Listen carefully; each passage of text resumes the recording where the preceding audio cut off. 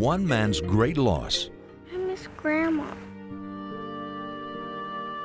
a family torn apart.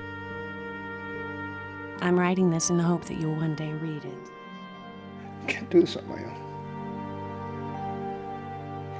I need help.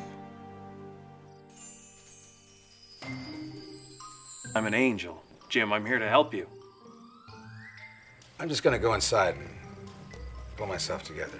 I can't believe that I'm actually sitting here in my kitchen having a conversation with a guy who thinks he's an archangel. I'm not seeing you, I'm not hearing you.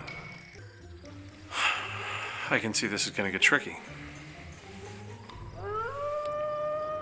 That's your cue.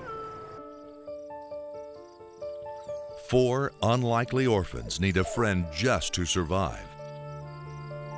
I've had enough of death and dying. Come on. Come here. Hey guys, look what I got. Found the wolves, I see. You're not crazy, Jim. Oh, really?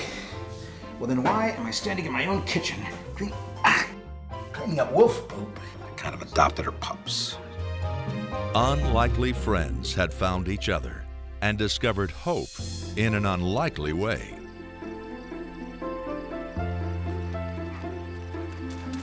Do you really know what's going on here?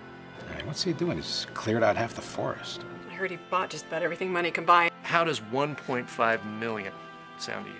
You don't strike me as the kind of guy who'd pay a fair price for anything. He's got all my land tied up. Do you think that you could help me too? Tragic events had brought them together, but soon it was time to let them go. This man is buying venison and feeding it to a pack of wolves he's got fenced up on his property. I want him arrested.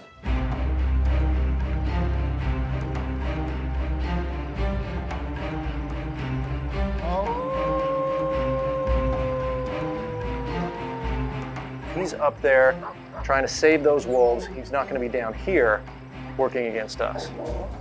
And by the time he figures it out, it'll be too late. The odds were incredible. Could he find his friends?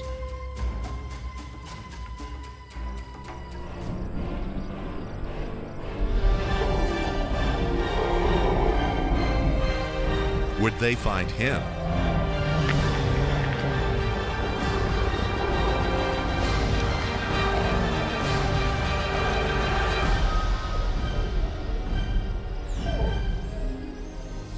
It's really something what you're doing for these folks.